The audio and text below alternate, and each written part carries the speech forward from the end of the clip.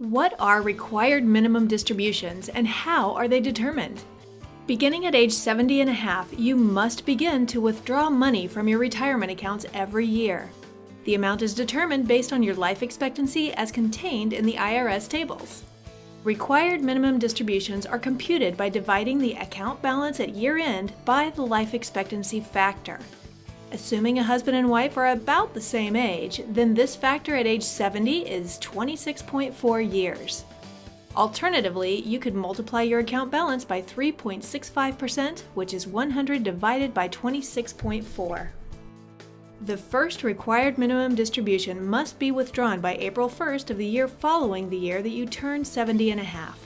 Subsequent required minimum distributions must be withdrawn by December 31st each year. Every year, your required minimum distribution will increase over your lifetime. If you want an estimate of your required minimum distributions each year, let us do the math for you and help you develop a winning strategy.